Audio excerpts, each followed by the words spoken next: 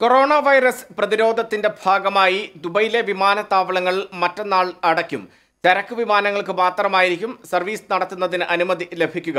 അതേസമയം അബുദാബി വിമാന കമ്പനിയായ ഇത്തിഹാദ് സേവനം ഇമറാത്തുകൾക്ക് മാത്രമായി ചുരുക്കി. കോവിഡ് പ്രതിരോധത്തിന്റെ ഭാഗമായി രാജ്യത്തെ മുഴുവൻ വിമാനത്താവളങ്ങളും രണ്ടാഴ്ച കാലത്തേക്ക് അടച്ചിടാനാണ് UAE general civil aviation authority തീരുമാനിച്ചിരിക്കുന്നത്. ഇതിന്റെ അടിസ്ഥാനത്തിലാണ് ദുബൈയിലെ വിമാനത്താവളങ്ങൾ മാർച്ച് ഇരുപത്തിയാറ് മുതൽ പ്രവർത്തനം നിർത്തിവെക്കുന്നത്.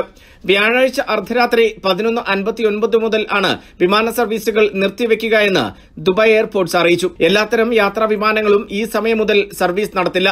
രാജ്യത്തേക്ക് എത്തുന്ന എല്ലാ വിമാനങ്ങളും ട്രാൻസിറ്റ് വിമാനങ്ങളും ഇക്കൂട്ടത്തിൽപ്പെടും ദുബായ് രാജ്യാന്തര വിമാനത്താവളവും അൽമക്തും വിമാനത്താവളവുമാണ് താൽക്കാലികമായി അടച്ചിടുന്നത്. ഇക്കാലയളവിൽ കാർഗോ വിമാനങ്ങൾക്കായിരിക്കും പറക്കാൻ അനുമതി ലഭിക്കുക. അടിയന്തര ഒഴിപ്പിക്കൽ ആവശ്യങ്ങൾക്കുള്ള വിമാനങ്ങൾക്കും അനുമതി ലഭിക്കുമെന്ന് വിമാനത്താവള അധികൃതർ അറിയിച്ചു. അതേസമയം വിമാന സർവീസ് ഇമറാത്തികൾക്കും നയതന്ത്ര പ്രതിനിധികൾക്കും മാത്രമായി ചുരുക്കുകയാണെന്ന് അബുദാബി എയർലൈനായ ഇത്തിഹാദ് അറിയിച്ചു.